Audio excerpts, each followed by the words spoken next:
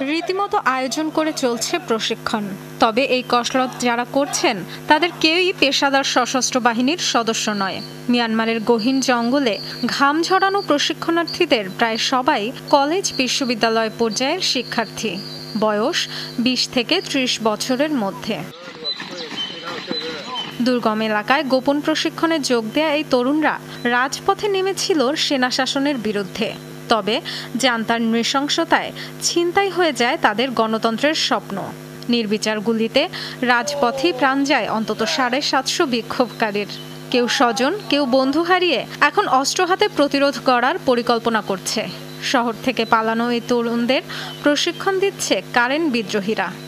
আমরা একই নৌকার যাত্রী, তাই একে অপরকে সাহায্য করছি। সামরিক জান্তার বিরুদ্ধে লড়াইয়ের জন্য আমরা তরুণদের প্রস্তুত করছি। সেনা সরকারের পতন ঘটিয়ে গণতন্ত্র প্রতিষ্ঠাই আমাদের অভিন্ন লক্ষ্য।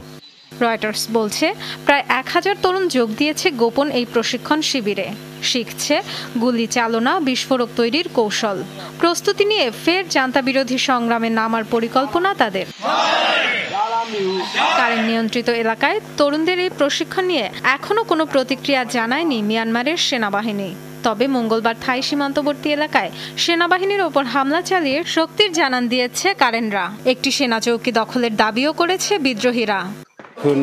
এত গোলাগুলির শব্দ আগে শুনিনি। আতঙ্কে গ্রামবাসীরা অনেকেই থাইল্যান্ডে পালিয়ে গেছে। মিয়ানমারের সীমান্ত খেসা গ্রামীণ এলাকায় এমন সংঘাত অবশ্য নতুন নয়। স্বায়ত্তশাসনের দাবিতে দেশটিতে লড়াই করছে অন্তত বারোটি সশস্ত্র গোষ্ঠী।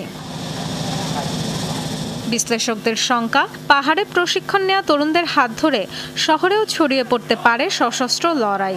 তারা গেরিলা হামলার কৌশল নিলে অশান্তি দেখা দেবে মিয়ানমার জুড়ে। যে কারণে গেল সপ্তাহেই মিয়ানমারে সিরিয়ার মতো সর্বাত্মক গৃহযুদ্ধের আশঙ্কা প্রকাশ করেন জাতিসংঘের মানবাধিকার প্রধান।